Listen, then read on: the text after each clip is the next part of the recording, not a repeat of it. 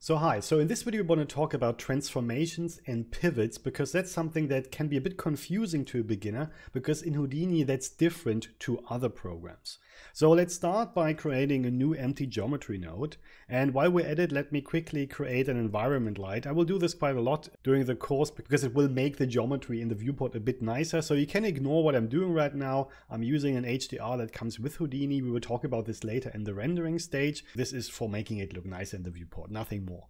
So I have a light here and my geometry node, and let's go in and create something. For example, our toy geometry that we've seen before. And the first thing, and let's press Shift W to get rid of the wireframe.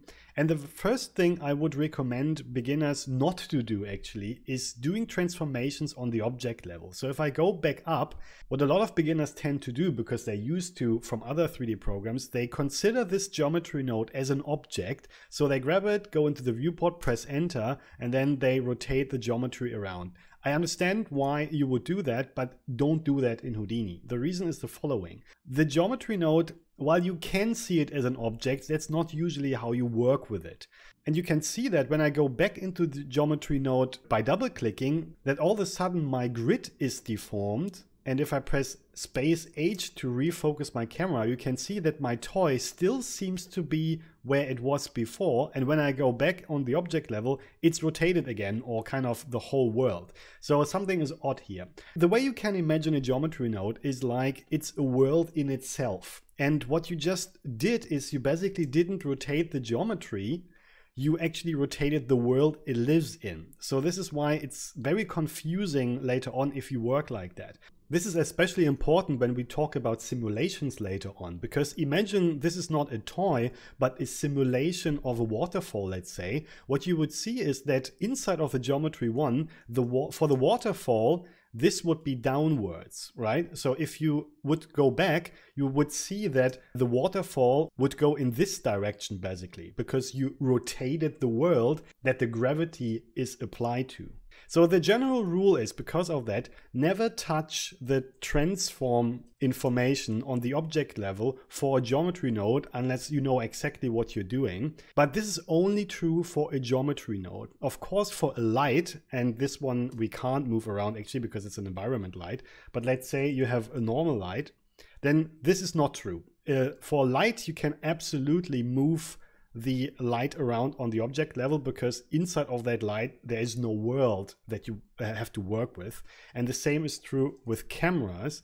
You're perfectly fine moving around cameras on the object level of course because simply there is no other way of moving them. So there this rule does not apply. But whenever you have a geometry node always make sure your transforms are set to zero now, of course, you might ask, okay, but how do I transform then my object? Well, you already know how. We use a transform node. And this has a couple of advantages. First of all, you do not play with uh, your orientation and transform of the world you act in, but only the geometry. Second of all, you can see that with this node here, it's very obvious that you did some kind of transform to your object. So the transformation now lives in this node. And as we've seen, you can turn it on and off. So there's a lot of advantage in the workflow as well, using a transform node for every kind of transformation. So that's the first thing. Always work with transform nodes on the SOP level if you want to transform something. Don't do it on the object level with the exception of lights and cameras. The second thing that is always a bit confusing for beginners is that there is no pivot. So let's say we transformed here our toy and then I create another transform because I want to do more with this. And then weirdly enough, the pivot or the you know position of the handler here is back on the world. And the reason for that is that the transform here did not show the pivot of the object because in Houdini, objects don't have a pivot. So in the stream of data, so to say, there is no pivot saved, at least not for normal geometry. Now, before you close this video and throw Houdini out of the window, this is actually not a bad thing. It's even better the way Houdini does it, because in Houdini, unlike other programs, the object might not have a pivot, but each transform node has its own pivot. So this is the reason why if we create a second transform, the pivot, so to say, is now back at zero because it kind of has its own pivot. And you can actually change that here under pivot transform. When you open it, there you have the pivot translate and the pivot rotate. Mostly, by the way, you can uh, ignore the pivot rotate because this is literally rotating the pivot, which is often not necessary. What you care about is the pivot translate. So let's say I move my pivot two meters up or maybe one meter. Yeah, two meters is also good. Then you can see now I have a new pivot, so to say, of this transform. And yes, I know what you might say. Do I have to every single time now have to reset my pivot by hand? No, you don't. The first thing you have to understand, and that's it takes a bit of time to get used to is just remember the order you do your transforms. For example, I could, uh, if I wanted to rotate my toy here after I moved it around, again around its own axis, I could do this in the same transform, sure, so I can rotate it like this. But what I can also do is before I moved it away from the center, we can create a new transform before we actually moved our uh, geometry. And now we can rotate it here before it has moved because we can always go forward and then see the result of that. But the cool thing is I can still select the first transform and rotate before it was moved up, up there, you know? So if you think a bit more clever about when you do what, you can actually have much more freedom when working with a geometry because you can always go back to a state where it wasn't moved yet or rotated yet.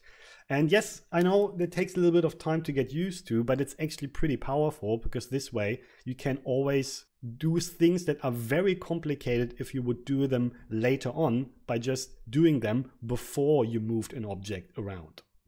But let's say there is a reason why you want later on, after a simulation or whatever, uh, move something around. That still is a problem that you have your pivot here in the center by default when you create a new transform. Can I not somehow center this pivot into the object? And yes, there is, multiple even. The easiest one is, let's delete this one again, if you type in transform, you can find the transform from centroid. And this is a normal transform, just with one difference. In the pivot translate parameter, there's already an expression. Now we haven't talked about expressions yet, but they are kind of little codes that you can put into parameters. And here you can see it reads out the centroid of the current geometry automatically. Now it will not always give you exactly what you expect though, because it uses the center of the bounding box of the object, but for most cases it's enough.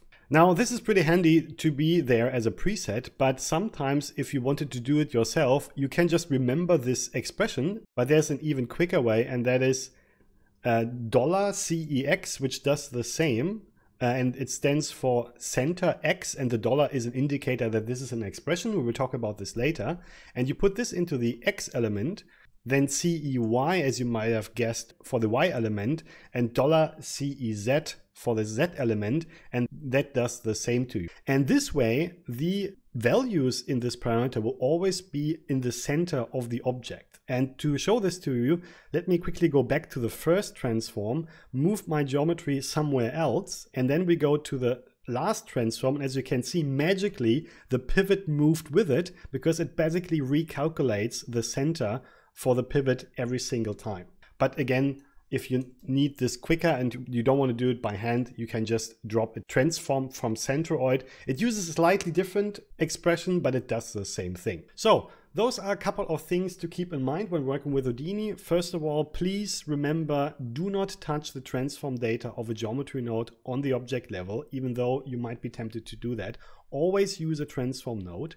And then don't be surprised that you don't have a pivot per object. The pivots live in each transform node by themselves. You have basically a fresh new pivot inside of each transform node, which sounds like a limitation at first, but if you play around with this a little bit, uh, especially by understanding that sometimes you can use a transform before you move something around as a kind of local transformation before it's then moved somewhere else in the room this way you have actually a lot more control than in other 3D programs. And if for some reason you still need a pivot later on automatically in the center of your object, you can use the expression CEX, CEY and CEZ and then it will automatically center itself in the center of your object. So play around with this a little bit and I hope this is helpful to clear up some confusions about transformations and pivots in Houdini. Thanks very much. See you later. Cheers.